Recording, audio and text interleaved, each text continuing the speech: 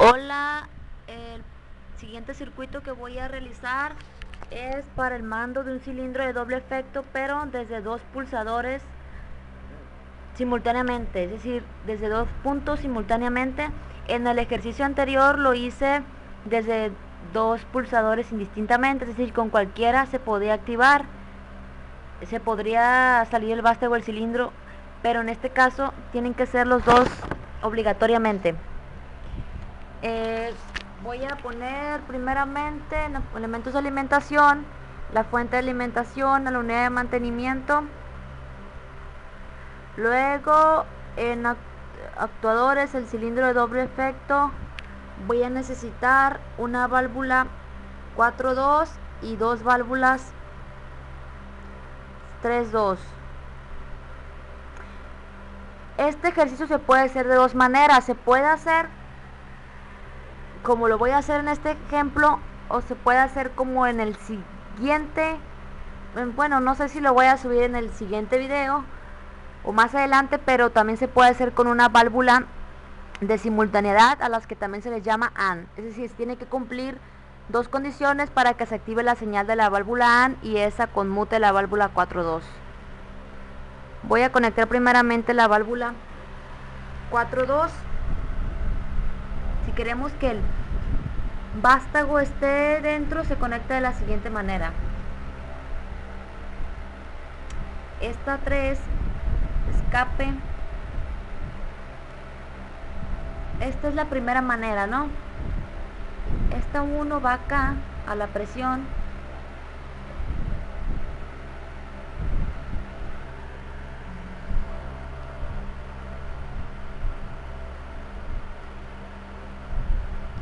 va a ser activada neumáticamente la 4.2 estaba acá. Es son les vamos le voy a poner ah, cómo se le pone enclavamiento creo que es esta por enclavamiento. A los dos pulsadores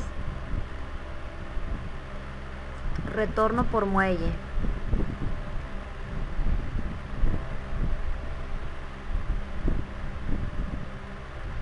Retorno por muelle luego que falta esta esta también va acá conectada y creo que ya. Ahora vamos esto le puse enclavamiento solamente para facilitar la simulación.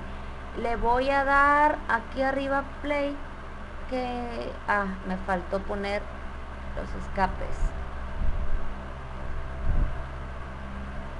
Ahora sí play. Si se dan cuenta en esta válvula de aquí de abajo la 1 hay bloqueo de aire porque no hemos pulsado el este enclavamiento. En el momento fíjense cuando yo active este esta válvula 3.2 no, no va a salir el vástago del cilindro. ¿Por qué? Porque él, ha de cuenta, fíjese, le voy a pulsar. Se va a quedar enclavada, ¿no?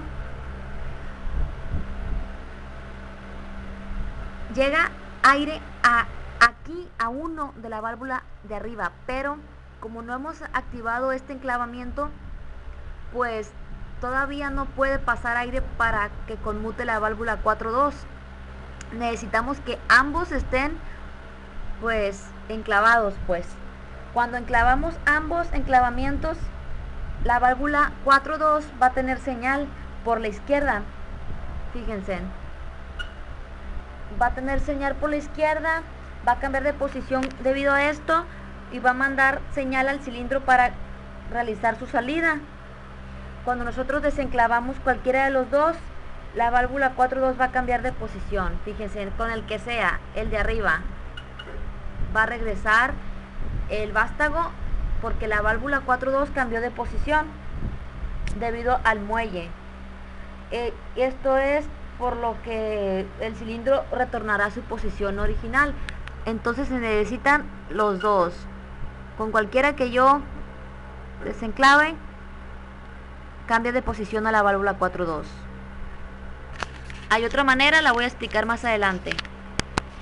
Bueno, antes de terminar, eh, para que esta válvula 3.2 reciba aire, tiene que estar presionada esta. Le voy a dar play, fíjense. Si presiono, si enclavo la válvula 1 de aquí de abajo, va a haber una circulación de aire por esta válvula y va a llegar aire aquí, a esta entrada, a la 1, pero todavía hay bloqueo de aire en esta válvula 2 porque no he pulsado, eh, no he puesto el enclavamiento.